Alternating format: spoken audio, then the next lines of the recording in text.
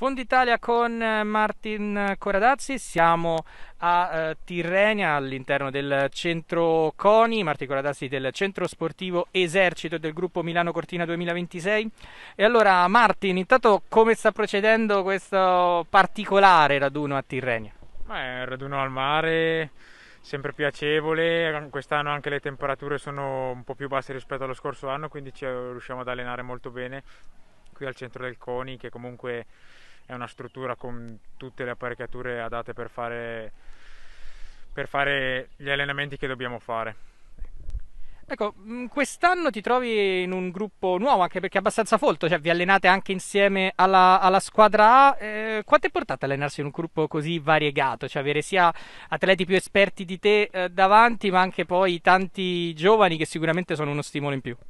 Beh, certo, avere così tante persone assieme per allenarsi, ognuno dà il suo contributo e tutti gli allenamenti cerchiamo di tirare fuori il meglio. Avere delle persone che magari hanno più esperienza di me facendogli delle domande e comunque cercando di interagire si riesce a migliorare sia magari dal punto di vista sia dell'allenamento ma anche dal punto di vista mentale. Cosa significa per te essere allenato quest'anno da un tecnico come Saracco che ha vinto tanto nella sua carriera con Pellegrino, la Lampic e non solo. Ecco, avere un, un allenatore del genere cosa significa?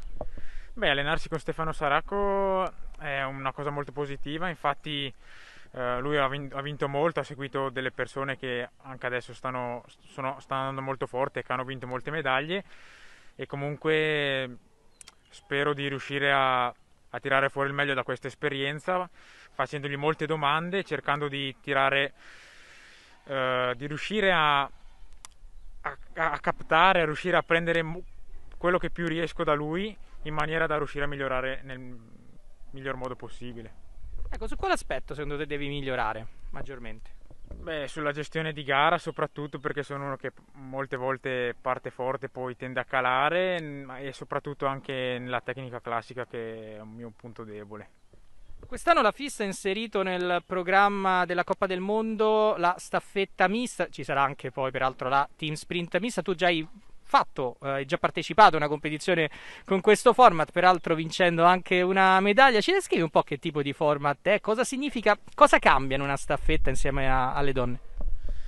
Ma diciamo che rispetto a una staffetta maschile non cambia molto, però comunque c'è molta differenza anche nazioni che magari hanno meno atleti forti da, da una parte o dall'altra, riescono, c'è più spettacolo soprattutto perché tutte le nazioni riescono a star lì nelle prime posizioni fino a giocarsela nel finale.